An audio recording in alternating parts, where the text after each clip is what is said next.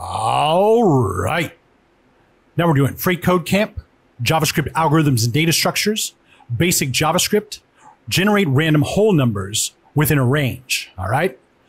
So we can generate a random whole number in the range from zero to a given number. Uh, we can also pick a different lower number for this range, right? Uh, so we'll call our minimum number min and our maximum number max.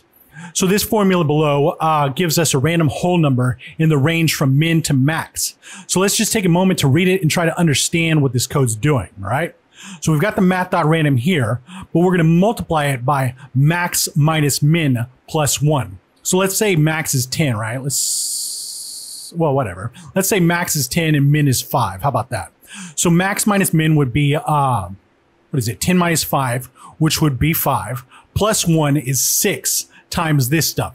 So we already know from the last one, whatever the number is that we multiply it by, this will never touch it because it doesn't uh, it doesn't go up to one. It doesn't go up to whatever the max is. So when we say max dot min, max minus min plus one, it'll give us six instead of five. That way, five will be an option.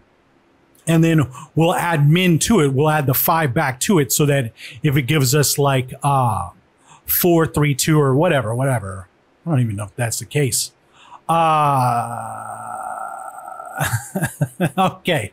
So like what if we're oh wait with the min is five i remember now so yeah if it gives us like uh you know like one or two or three we just add five to it it'll make it six seven or eight something like that uh hopefully that makes sense so and then we do the math dot floor to it no big deal so uh that's not even the order. Anyway whatever. Hopefully you get it. If we do this then we do this then we add this. All right?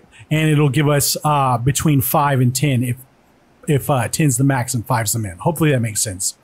So we're going to create a function called random range that takes a range my min and my max and returns a random whole number that's greater than or equal to my min and less than or equal to my max. So we're basically going to do the exact same as this. So we'll just come over here and say, uh, what are we going to say? Let's say math dot random. All right and then we'll multiply that times uh what do we got? We got my min, so my max minus my min, like that, plus one. And then we will wrap this in parentheses,